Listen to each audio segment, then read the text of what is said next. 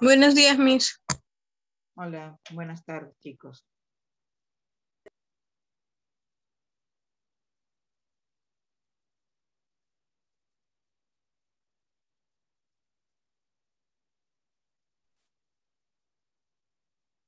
Ya, un ratito que ingresen sus compañeros.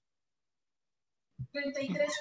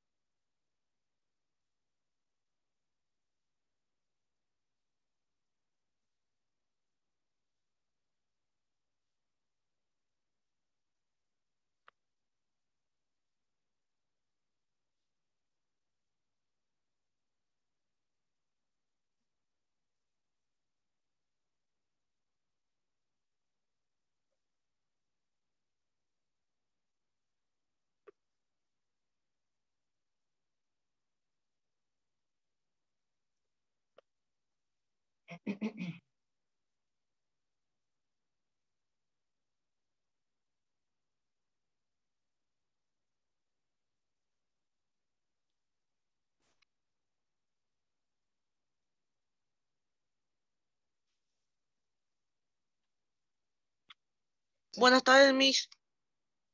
Buenas tardes. Todavía no nos toca contigo, nos toca todavía a la una y um, dos y cuarenta. Ya, primero secundaria, dos y cuarenta. Me toca ahorita con quinto.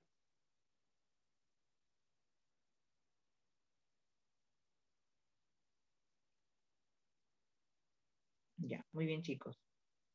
Este, bueno, como ustedes ya saben, han habido cambios en el horario y sí teníamos, justamente teníamos dos horas, ¿no? Una antes y otra después del descanso, pero luego estuvieron revisando nuevamente el horario y se cruzaban algunos, este, algunos este, cursos, entonces por eso es que tenemos solamente una hora de literatura, ¿ya? A las 12. ¿Ya chicos? Bien, entonces, bueno, si sigue, sigue así el horario, vamos a estar eh, todos los miércoles a las 12 con literatura, ¿ya? Bien, vamos a encender entonces las cámaras para poder iniciar con la clase, porque tenemos solamente 40 minutos, entonces tenemos que aprovechar el tiempo, ¿no? Bien, encendemos cámaras, chicos.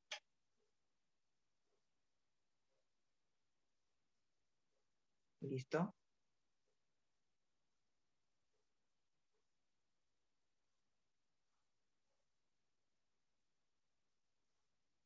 Bien, vamos eh, a, compartir la pantalla. Vamos a entrar a otra etapa de la literatura. Ya hemos visto todo lo que es el romanticismo, ¿no es cierto? La época romántica. Ahora vamos a entrar a otra etapa llamada realismo.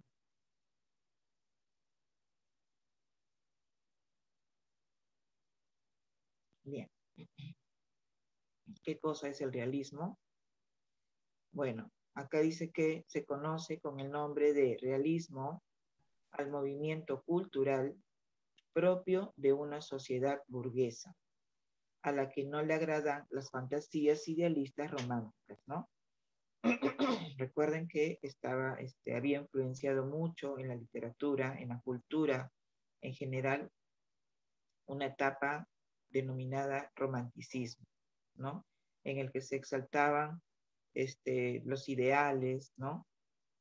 Eh, había, este, se veía mucho la belleza, ¿no? Tenía que ver con la belleza, todo esto, ¿no? Pero luego de esta etapa se levanta o se presenta otra eh, que no le agradaba, ¿no? Como dice acá, las fantasías idealistas románticas. Ahora, no se puede establecer una separación tajante entre el romanticismo y el realismo, ¿no? En un principio se puede considerar que el realismo surge por depuración de los elementos románticos más idealistas. Pero sin embargo, siempre todo proceso, todo cambio lleva un tiempo, ¿no es cierto? Es un proceso. No es que bruscamente termina una etapa y comienza otra, ¿no? Fue todo un proceso, ¿no? El cambio de pensamiento, de ideas para pasar de la época romántica al realismo, ¿no? Bien, el realismo se desarrolla en Europa y de ahí ya este, parte hacia otros países, ¿no? Pero se desarrolla en Europa desde el año 1830 hasta los últimos años del siglo XIX. En España, eh, este movimiento se desarrolló un poco más tarde, ¿no? Más o menos en el año 1870. Pero desde 1830, ya en Europa, estaba iniciándose lo que es esta etapa de realismo, ¿no? Bien, como les decía, el realismo tenía que ver con la burguesía propiamente, ¿no? Dice, un arte burgués, Durante estos años se produce la consolidación de la burguesía en el poder, ¿no? En la mayoría de los países desarrollados. ¿no? Entonces todo depende también de quién está en el poder y de acuerdo a eso suceden los cambios también, ¿no? En todo, en todo, ¿no? Cultural, en todo sentido, ¿no? Bueno, como estaban en el poder los burgueses, ¿no? Entonces el arte también es burgués, ¿no? Por ejemplo, aparecen otra clase de regímenes como los parlamentarios, ¿no? Aunque el sufragio no es universal, los obreros y las mujeres deberán librar una larga lucha para poder conquistar el derecho al voto, ¿no? No era solamente las mujeres que no podían eh, acceder al voto, sino los obreros. Por eso se llama un arte burgués, ¿no? La literatura realista refleja, dice, los conflictos tanto internos como externos de la nueva clase que se había hecho del poder, ¿no? Bien, aparece la clase obrera, ¿no? La clase obrera, ¿no? Personas que comienzan a trabajar por un jornal diario, pero que no son reconocidas en todos sus derechos, ¿no?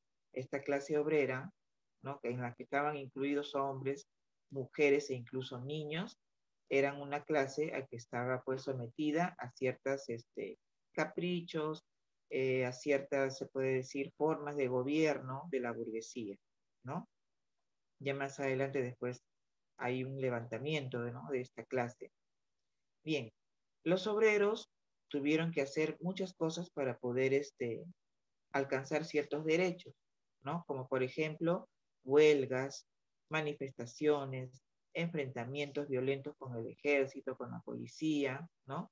Para poder combatir la explotación, ¿no? La jornada de ocho horas, este derecho que ellos comenzaron a exigir apareció por estas épocas, ¿no? Bien, a partir de las últimas décadas del, del siglo, se comienzan a crear lo que conocemos ahora como organizaciones políticas y sindicales, ¿no? Inspiración socialista. En cuanto al desarrollo científico y tecnológico, ¿no? La filosofía propia de la sociedad burguesa, ¿no? Eh, plantea el positivismo, para la que no existe otra realidad que los hechos perceptibles, o sea, lo que se puede ver, ¿no? Ni es posible otra investigación que no sea el estudio empírico de los hechos, ¿no? La observación rigurosa, la experiencia, son los instrumentos que rigen aquí la filosofía positivista, ¿no? Estos principios están en la base del desarrollo de las ciencias experimentales y de la técnica. En cuanto a los avances científicos, el desarrollo de las ciencias experimentales va a servir de modelo a los escritores, ¿no? E influirá en su obra. En este sentido, se pueden destacar, por ejemplo, la medicina moderna, ¿no? La formulación de las leyes de la herencia genética por Mendel, ¿no? La teoría de la evolución de las especies, que fue este, publicada por Darwin, la teoría de la lucha de clases por Carlos Marx, ¿no? Entonces, aquí en esta época del realismo surgen estas nuevas ideas, esta nueva forma de ver la ciencia, ¿no?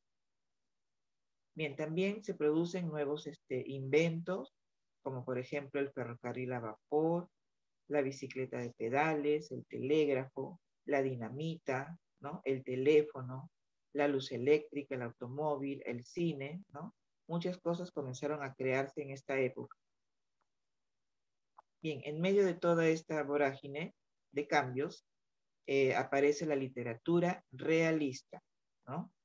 ¿En qué consiste? Consistía en observar y describir de manera precisa la realidad, ¿no? Ubicación próxima de los hechos, propósito de crítica social y política, ¿no? Predilección por la novela, aunque también se cultivaba el relato breve, aquí predominó la novela, ¿no? Relatos un poco más extensos, un poco más largos, y justamente la novela es la que comienza a traer estos temas, ¿no? Lo social, lo político, etcétera, ¿no? Y la realidad. Por eso se llama realista, ¿no? Entonces, la literatura también, como tenía que ver mucho la observación y la descripción de la realidad, eso también se fue se ve plasmado en la lectura, ¿no? Los escritores se documentan ¿no? Tomando apuntes sobre personajes y ambientes para poder fundamentar sus descripciones, ¿no? Para poder dotar a sus personajes de un carácter especial, describir los estados de ánimo, ¿no? Entonces, ellos para poder hacer sus creaciones literarias se basaron mucho en lo que es la observación y la descripción de la realidad, ¿no?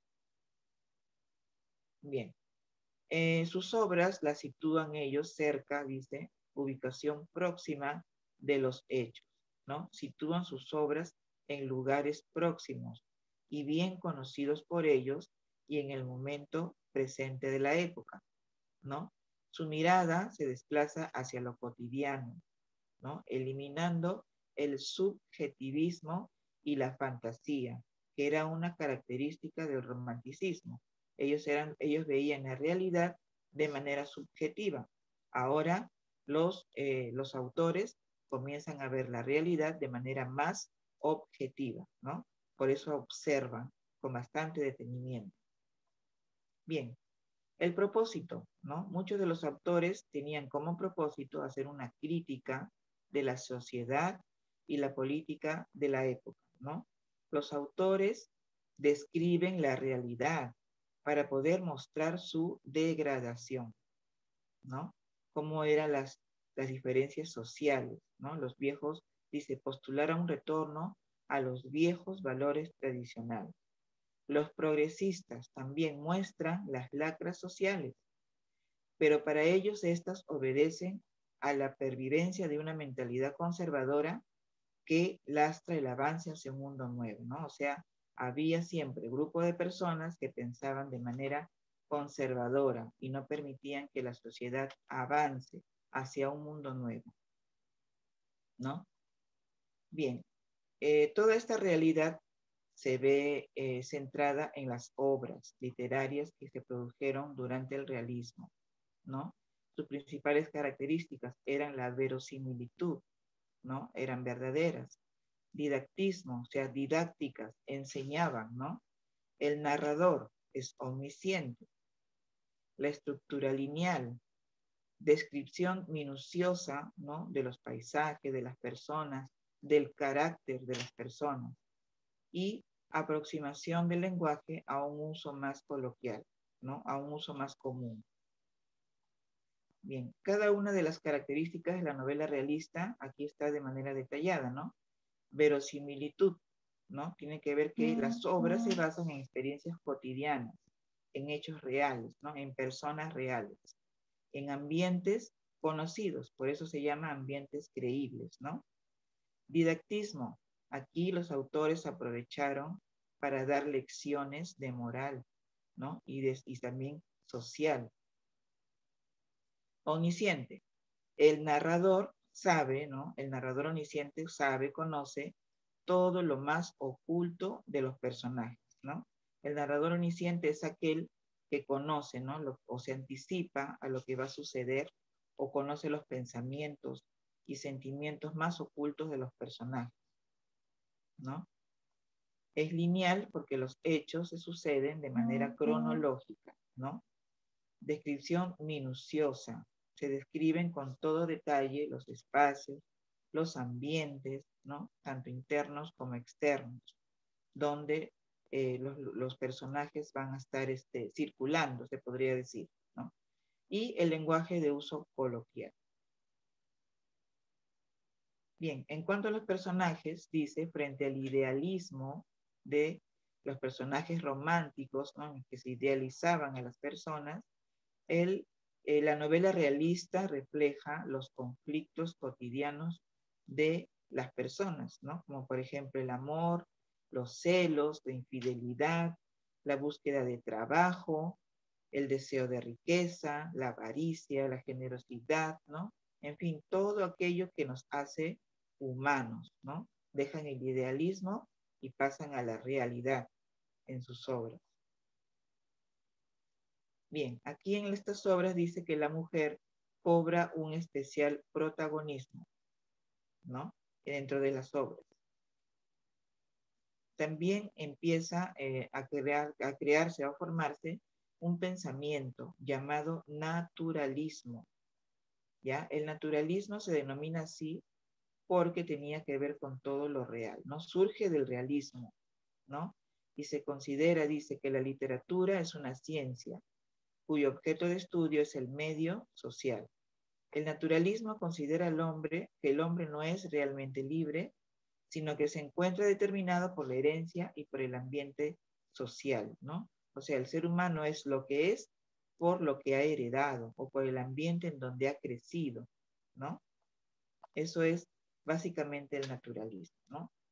Bien, ahora, esta corriente del naturalismo se interesa mucho por ambientes miserables y sórdidos, ¿no? Por personajes, como dice acá, torpes o tarados, alcohólicos o víctimas de patologías diversas, ¿no? O sea, todo lo más oscuro del ser humano, ¿no? Aspiraban a mejorar las condiciones sociales de las personas, mostrando toda la realidad humana, ¿no? Bien, autores realistas. Tenemos aquí a Charles Dickens, a Fyodor Dostoyevsky, León Tolstoy, ¿no? Honore de Balzac, Flower, Sola, ¿no? Y aquí tenemos algunos este, españoles. ¿Sí? Bien, entonces les voy a mostrar ahora sí la hoja de la clase en donde tenemos el tema sobre el realismo, la literatura. ¿Ya? Bien, aquí tenemos características generales de la literatura, ¿no? Características de la novela realista. También tenemos la novela eh, en Francia, ¿no? La novela en Rusia, en Inglaterra, el teatro realista también. Y aquí hay una breve descripción de la biografía de Fyodor Dostoyevsky, ¿no? Y también un fragmento de su obra Crimen y Castigo. Bien, chicos, como tenemos poco tiempo para escribir, poco tiempo para escribir, vamos a escribir las características generales, nada más, ¿ya? El título, y las características generales. Esto vamos a pasar al cuaderno. ¿Sí? Si hay tiempo, avanzamos hasta una parte de la práctica y lo podemos terminar después en la otra clase. Pero ahorita vamos a escribir el título y las características generales de la literatura realista. Ya, ya hemos visto un poco este, la sociedad de la época de la literatura realista y ahora aquí estamos viendo características generales, ¿no? Entonces vamos pasando eso al cuaderno. Vamos pasando eso al cuaderno. Rapidito. Si no lo terminan de escribir, no se preocupen. Pero vamos avanzando esa parte de ahí, ¿ya? El título y las características generales.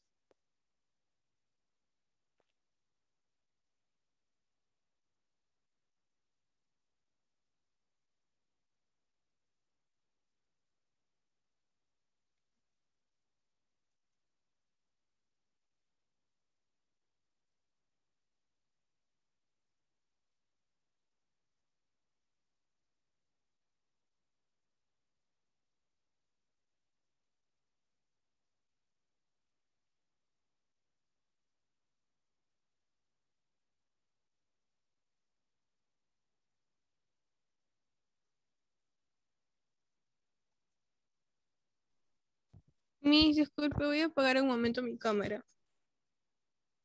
Ya.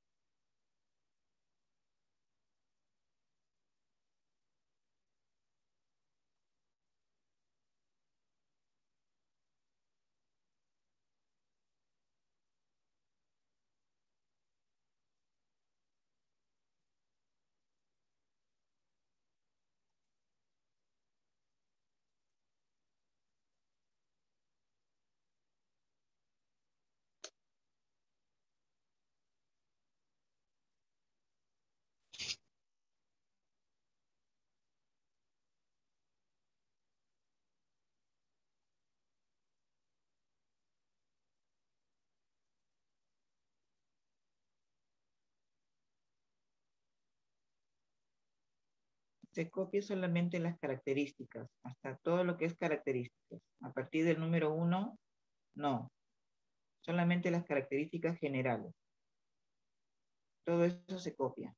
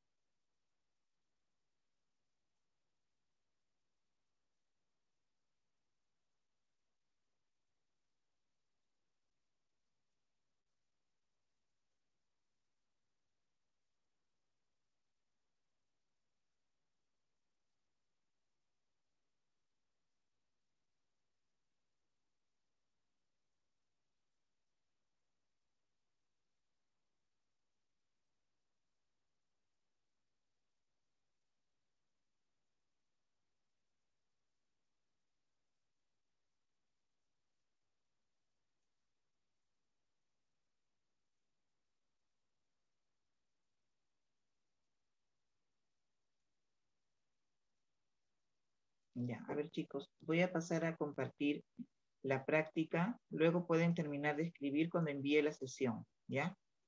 Vamos a pasar rapidito a la práctica.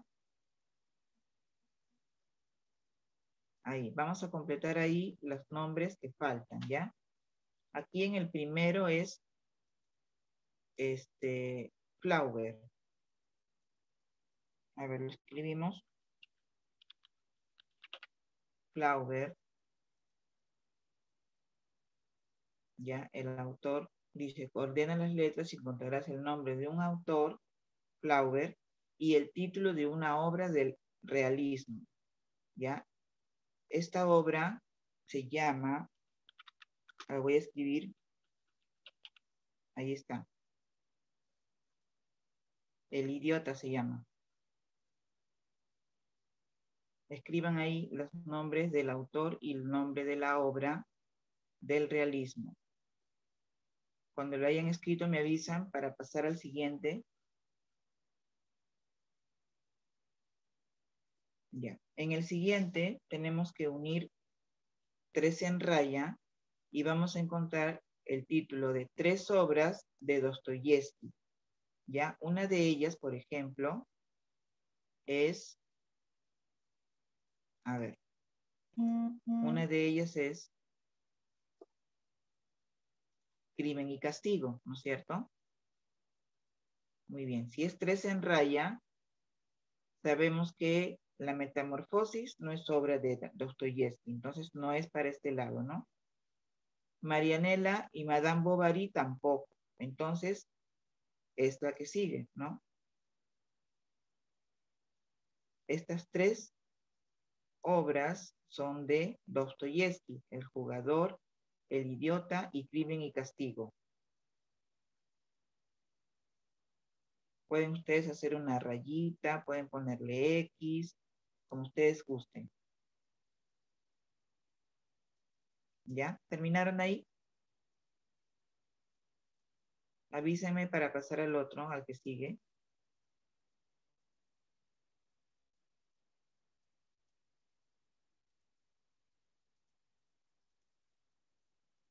Ya. Entonces supongo que ya han marcado, ¿no? Ya, voy a borrarlo. Vamos a pasar al siguiente. A ver, aquí también. En esta sopa de letras vamos a encontrar el nombre de tres autores realistas, ¿no es cierto? Uno de ellos, conocido, Dostoyevsky, está aquí. ¿No? Este es el más conocido. El otro es Dickens, que está aquí, Dickens. ¿Ya? Y el otro es Flower, aquí. Acá están los tres nombres de los autores realistas. Ahí están, Dostoyevsky, Dickens y Flower.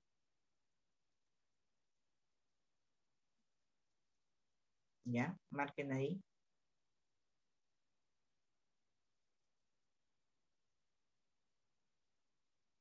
Listo. Voy a borrarlo. Voy a borrarlo.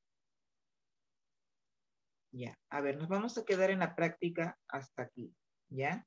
La próxima clase terminamos esta práctica. Escriban su asistencia, chicos, en el chat. Escriban ahí su asistencia, por favor. Y pueden ir saliendo, ¿ya? Pueden ir saliendo para su otra clase. Yo también tengo clase ahorita, ¿ya? Chao, Ya nos la próxima semana o, o el examen, creo, ¿no? Ya nos vemos, chicos. Cuídense. Chao, mis, cuídese. Chao, chicos. Cuídense.